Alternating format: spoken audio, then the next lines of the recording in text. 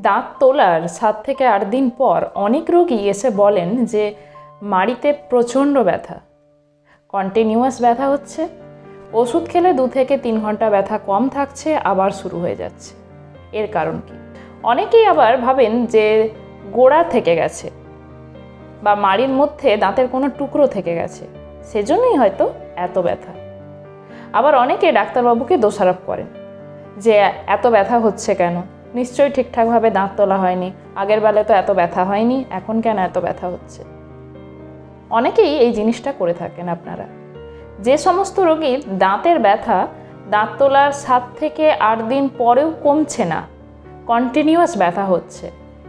তাদেরকে বলব, ডাক্তারবাবুর ভুল নয়, ভুলটা আপনারই। আপনি হয়তো ঠিকঠাকভাবে দাঁত তোলার পরবর্তী নিয়মগুলি পালন করেননি। বা একেবারেই করেননি কিছু। সেজন্যই এত ব্যথা।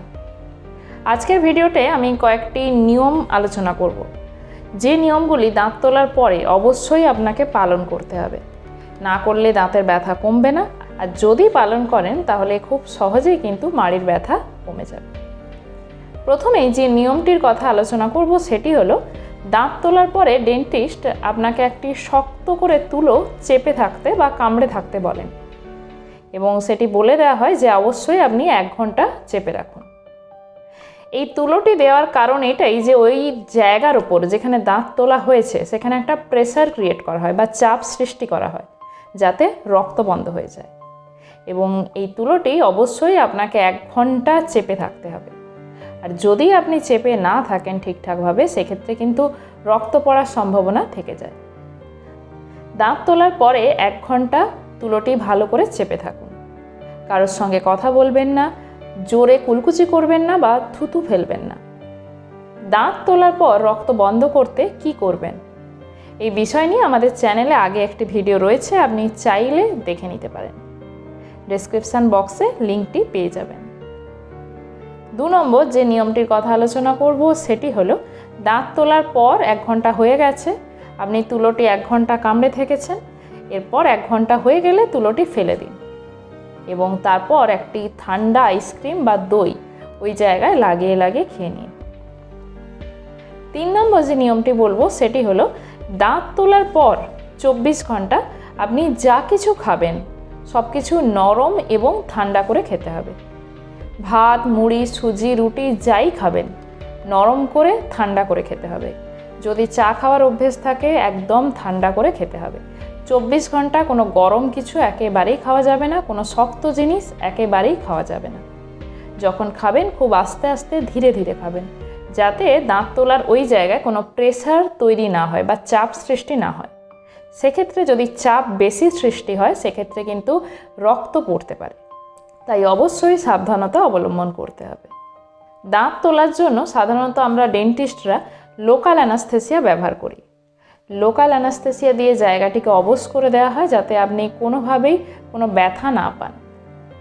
তারপর আমরা দাঁত তুলি। সুতরাং দাঁত তোলার পর এই লোকাল অ্যানাস্থেসিয়াটি কিছুক্ষণ কাজ করে মানে ভার থাকে। দাঁত তোলার পর মোটামুটি এক দু ঘণ্টা ওই লোকাল অ্যানাস্থেসিয়া থাকে মানে ভার ভাবটি আপনি বুঝতে পারবেন বা অবশ ভাবটি বুঝতে পারবেন। এই অবশ ভাবটি কেটে গেলে এক থেকে দু ঘণ্টা পরে আস্তে আস্তে আপনি ব্যথা অনুভব করতে থাকবেন। যে দাঁত তোলা হয়েছে, জায়গাটি ব্যথা করছে, এটি বুঝতে পারবেন। অবশ ভাবটি কেটে যাওয়ার পর বা ভার ব্যাপারটা কেটে যাওয়ার পর আপনি ব্যথার ওষুধ খান এবং বাকি ডেন্টিস্ট যা যা ওষুধ আপনাকে প্রেসক্রাইব করে দিয়েছেন বা আপনাকে বলেছেন খেতে, সেই ওষুধগুলো খেতে থাকুন। পাঁচ নম্বর যে নিয়মটির কথা আলোচনা করব, সেটি কিন্তু খুবই গুরুত্বপূর্ণ।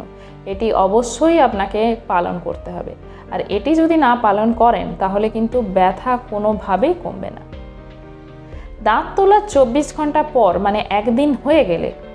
তারপর হালকা ঈষদুষ্ণ গরম জল করুন এবং এর মধ্যে লবণ ফেলে কুলকুচি করতে থাকুন।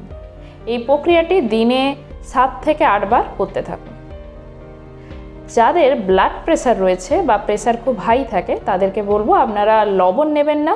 পরিবর্তে ঈষদুষ্ণ গরম জলের মধ্যে টু পার্সেন্ট প্রভিডিন আয়োডিন বা যেটি বাজারে বিটাডিন নামে পরিচিত বা পাওয়া যায়। সেটি কয়েক ফোঁটা ওই গ্লাসের মধ্যে দিয়ে দিন এবং ভালোভাবে কুলকুচি করতে থাকুন। এবং অবশ্যই আপনারাও এই প্রক্রিয়াটি দিনে সাত থেকে আটবার করুন। যত বেশি বার করবেন, তাড়াতাড়ি সুস্থ হয়ে যাবেন বা মাড়ি তাড়াতাড়ি শুকিয়ে যাবে। তবে আরও একটি বিষয় জানিয়ে রাখি যে, এই গরম জলে কুলকুচি ব্যাপারটি কোনোভাবেই কিন্তু দাঁত তোলার দিন বা দাঁত তোলার চব্বিশ ঘণ্টার মধ্যে করবেন না। সেক্ষেত্রে কিন্তু উল্টো প্রতিক্রিয়া হতে পারে। সেক্ষেত্রে ব্যথা প্রচণ্ড বেড়ে যাবে এবং মাড়ি সারতে অনেক দিন সময় লেগে যাবে। সুতরাং দাঁত তোলার পর চব্বিশ ঘণ্টা হয়ে গেলে তবেই কিন্তু কুলকুচি শুরু করুন। তার আগে অবশ্যই করবেন না। দাঁত তোলার পর সাত দিন হয়ে গেলে একবার ডেন্টিস্টের কাছে যান।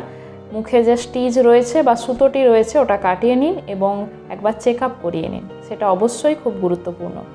ওই জায়গায় মাড়ি সুস্থ হয়েছে কিনা সেটা দেখাটা অত্যন্ত জরুরি। অনেক সময় যারা সুগার পেশেন্ট থাকেন, তাদের মাড়ি শুকোতে চায় না বা সুস্থ হতে অনেকটা টাইম লেগে যায়। সুতরাং সেক্ষেত্রে আরও কিছু সাবধানতা অবলম্বন করতে হয়। সেটি আপনার ডেন্টিস্ট আপনাকে অবশ্যই জানিয়ে দেবেন। সাত নাম্বার যে নিয়মটির কথা উল্লেখ করব, সেটি কিন্তু খুবই গুরুত্বপূর্ণ। অনেকেই এই ব্যাপারটি এড়িয়ে যান। অনেকেই ভাবেন যে দাঁত তোলার পর ব্রাশ করব না সাত আট দিন। না এটা একেবারেই করবেন না। এটা একেবারেই ভুল। দাঁত তোলার পরের দিন থেকে অবশ্যই ব্রাশ করুন। কারণ আপনি যদি ব্রাশ না করেন, ওই জায়গায় কিন্তু খাবার জমতে থাকবে। যদি নিচের দাঁত হয়, যা খাবেন ওখানে জমা হবে কারণ ওখানে গর্ত রয়েছে, মাড়ি তখনও পুরোপুরি ভরাট হয়নি, বা উপরেরও যদি দাঁত হয়, ওই জায়গায় খাবার জমতে থাকবে। সুতরাং দাঁত তোলার পর অবশ্যই অবশ্যই পরের দিন থেকে ব্রাশ করা শুরু করুন। মুখ সবসময় পরিষ্কার রাখুন। কারণ খাওয়ার যদি জমতে থাকে, সেক্ষেত্রে কিন্তু মাড়ি ব্যথা করবে। সর্বশেষ যে নিয়মটির কথা আলোচনা করব, সেটি হলো দাঁত তোলার পর সাত থেকে আট দিন যা কিছু খাবেন। আপনি বিস্কিট খান, চকলেট খান, মুড়ি খান, যাই কিছু খাবেন। সঙ্গে সঙ্গে নর্মাল জল দিয়ে একটু কুলকুচি করে নিন। তাতে মুখটা পরিষ্কার থাকবে এবং খাওয়ার জমার কোনো সম্ভাবনা থাকবে না এবং ব্যথাও অনেকটা কমে যাবে। আশা করছি নিয়মগুলি আপনারা বুঝতে পেরেছেন। যদি কোনো ডাউট থাকে বা বুঝতে অসুবিধে হয়, আপনারা আমাকে জানাতে পারেন। দাঁত এবং মুখগহর সম্পর্কিত কোনো পরামর্শ জানার দরকার থাকলে আপনারা অবশ্যই নির্দ্বিধায় আমার সঙ্গে যোগাযোগ করতে পারেন। তার জন্য আপনাদেরকে আসতে হবে আমাদের ফেসবুক পেজে এবং সেখান থেকেই যোগাযোগ করতে হবে। সুস্থ থাকুন, ভালো থাকুন এবং অবশ্যই দাঁতের খেয়াল রাখুন। নমস্কার।